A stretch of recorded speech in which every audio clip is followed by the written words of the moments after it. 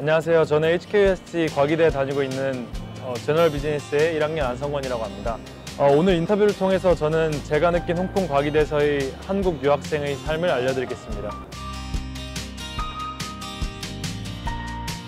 홍콩 과기대 제너럴 비즈니스는 다른 대학들과 달리 20개가 넘는 이제 그 안에서도 더 어, 다채로운 전공 과목들을 이제 제공하고 있고요.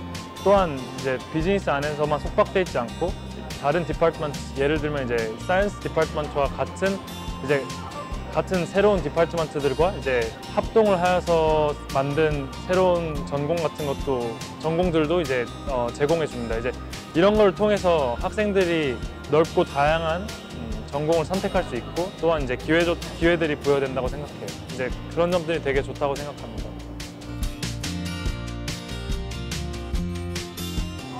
어, 저는 제 한 주 학업에 대해서 되게 만족, 학업 생활에 대해서 되게 만족하는 편이고요. 이제 공부량 같은 경우는 어, 학점의 양과 교수님에 따라서 되게 많이 구분이 된다고 보시면 됩니다. 이제 학점이 많으면 많을수록 당연히 공부량과 수업의 수는 일주일에 많아지는 법인데 이제 하지만 교수님들 중에서 숙제와 시험을 통해서 이제 학점을 주시는 분도 계시지만 오직 시험만을 통해서 주시는 분도 계시기 때문에 어떤 교수님을 선택하느냐에 따라서 일주일이 더 타이트할 수도 있고 안 타이트할 수도 있다고 생각합니다. 어, 그리고 이제 교수님과의 interaction 같은 경우는 2학년이 지나고 이제 전공 과목을 정하게 되면 한 강의에 들어가는 학생의 수가 자연스럽게 줄어들게 됨으로써 교수님과의 소통과 이제 교수님과의 친밀도를 더 쌓을 수 있는 기회가 되는데 아직 1학년 같은 경우는 한 강의에 평균 학생 수가 100명이 넘기 때문에 교수님과의 어, 커뮤니케이션이 비교적 힘든 편입니다. 어, 저 같은 경우는 이제 한인 농구 동아리에 들어가 있고요. 과기대 말고도 홍콩대, 중문대, 시티대, 폴리대와 같이 어, 여러 가지 한인들이 속해 있는 홍콩 대학들이 있는데 이제 그런 대학들과 가끔씩 친목 농구 경기를 같이 하는 편입니다. 네, 저는 개인적으로 학교에 있는 바닷가에 가는 걸 좋아하는데요. 특히 밤에 그 바닷가에 가 있으면 되게 야경도 좋고 날씨도 선선해서 되게 좋은 것 같아요.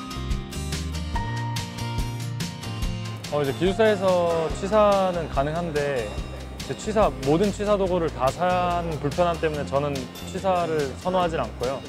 이제 학교에도 다양한 식당들이 있어요. 근데 학식과 서브웨이나 맥도날드 같은 체인점 식당들이 있는데 저는 이제 보통 학식을 먹거나 아니면 근처 역에 있는 쇼핑몰에 나가서 스시나 아니면 어, 니치규라 하는 샤브샤브를 즐겨 먹는 편이에요. 어, 저는 그 코즈웨이 베이에 미스터 스테이크라고 하는 음식점을 자주 갔었는데 이제 그 음식점은 해산물과 육류 뷔페인데 이제 거기서 나오는 이제 홍콩 근처에 어, 랍스터 찜이 가장 맛있었는데 그 맛을 못 잊어서 저는 어, 한때 매주 두 번씩 갔었어요. 보통 이제 비즈니스에서는 어, 개인 과제보다 이제 그룹 프로젝트나 그룹 과제가 많기 때문에 이제 인도 또 인도나 서양, 중국, 일본 다양한 인종과 다양한 나라에서 온 학생들과 교류가 가능합니다.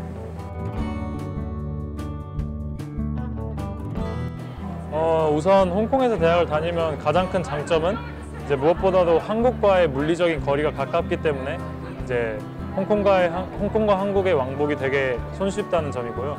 또 다른 장점은 이제 홍콩이 아시아의 대표 경제 도시인 만큼 어, 세계적인 기업들이 많이 진출해 있고 이제 그 기업들과 연계돼 있는 학교 프로그램도 많아서 어, 홍콩에서 대학 생활이 좋은 것 같아요. 이제 하지만 이제 단점이 있다면 어, 무엇보다 그 한국보다 매우 높은 습도와 그 기온이 되게 학교 생활이 불편하고요. 이제 또한 음식이 한국과 많이 달라가지고 입맛에 맞지 않으면 되게 힘들 수도 있습니다. 어, 우선 HKUST에서 한 학기 필수로 중국어 과목을 들어야 되고요. 이제 그렇다 보니까 중국어를 할 수 있든 없든 간에 중국어를 한 학기 동안 배우면서 중국어를 조금 할 기회가 생긴다고 생각해요. 그리고 재학생 또는 이제 졸업생들 중 대부분은 한국뿐만이 아닌 중국에서 유학하시다 오신 분들이 많기 때문에 중국어 또는 이제 광동어를 유창하게 하시는 편이고요. 이제 수업은 100%다 영어로 진행되고 있어요. 네, 이제 기숙사는 어, 학교 내에 있는 기숙사와 학교 외에 있는 기숙사로 구분이 되는데요. 어, 학교 내에 있는 기숙사는 어, 기숙사 1번부터 기숙사 9번까지 총 9개의 기숙사가 있고요. 어, 학교 밖의 기숙사는 어, 청판호역에 있는 어, TKO 기숙사라고 있습니다. 근데 이제 저는 학교 내 기숙사에 대해 더 잘 알기 때문에 학교 내 기숙사에 대해 말씀드릴 건데요. 이제 학교 기숙사의 특징은 기숙사 6번부터 9번까지 새로 지은 기숙사이고 어, 나머지 기숙사들은 비교적으로 조금 더 오래된 기숙사들입니다.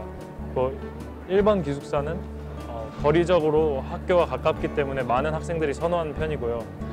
어, 6번부터 9번 기숙사는 다른 기숙사들에 비해 신생 기숙사이기에 더욱더 시설이 좋고 더욱더 쾌적하게 또 많은 학생들이 선호합니다. 반면에 기숙사 2번부터 5번은 어, 지리적인 위치도 좋지 않고 기숙사 시설도 그닥 좋지 않은 편이기에 많은 사람들이 기숙사를 지원할 때 꺼려하는 편이에요. 어, 우선 기숙사는 입학 후 2년이 확정이고요. 희망하는 기숙사를 3개 고르게 되는데 1번부터 9번 사이에 어, 희망하는 기숙사를 1순위, 2순위, 3순위로 정하지만 그렇다고 무조건 이세개 기숙사 중에 하나가 배정되는 건 아닙니다. 어, 이제 기숙사는 100% 랜덤으로 배정되고요. 너무 경쟁적인 기숙사에 넣게 되면 경쟁적이지 않고 사람들이 덜 선호하는 기숙사로 배정될 확률이 높아집니다. 그렇기 때문에 선호하는 세 가지 기숙사를 넣을 때는 이제 경쟁적인 기숙사들과 경쟁적이지 않은 기숙사들을 잘 조합해서 넣어야지 어, 좋은 결과가 나옵니다. 이제 학교가 주요적인 홍콩의 도시들과 떨어져 있는 만큼 어, 학교 기숙사 내에서 특히 더 많은 어, 이벤트를 추진하여서 학생들의 무료함을 달래주려 노력하는 것 같은데요. 제일 기억에 남는 어, 기숙사 내 이벤트는 이제 할로윈 파티였어요. 할로윈 파 할로윈 날, 날 당시에 이제 각 기숙사마다 어, 기숙사 시설을 이제 무섭게 꾸민 다음에 이제 다른 기숙사 학생들이 그 기숙사를 밤에 방문하여서 어, 호러 그러니까 놀이공원의 호러하우스처럼 그 각 기숙사마다 다른 무서움을 즐기게 해줬는데요. 이제 저희 기숙사 같은 경우는 엘리베이터 안에서 어, 엘리베이터 천장에서 뭐가 떨어지는 시스템이었는데 네, 저도 재밌었습니다. 되게. 어, 이제 아무래도 학교 이름처럼 저도 처음에 왔을 때 사이언스와 테크놀로지에만 집중하는 어, 대학교인 줄 알았는데 이제 science와 technology뿐만 아니라 이제 이제 전공의 다양성을 강조하는 학교의 분위기가 만들어져 있고요. 그 덕분에 이제 이 학교의 장점인 science, science와 technology를 비즈니스와 함께 접목해서 들을 수도 있어요. 특히 1학년 때 모든 전공을 introduction으로 들을 수 있기 때문에 이제 학생들이 다양한 비즈니스의 전공들, 특히 이제 finance와 비즈니스에 있는 세부적인 전공들 introduction 수업을 듣고 그 추후 2학년 때 자기가 원하는 전공을 선택할 수 있는 기회가 주는데 이제 이러한 1학년 때 여러 가지 전공들을 접해볼 수 있다는 사실이 전 되게 감명 깊었어요.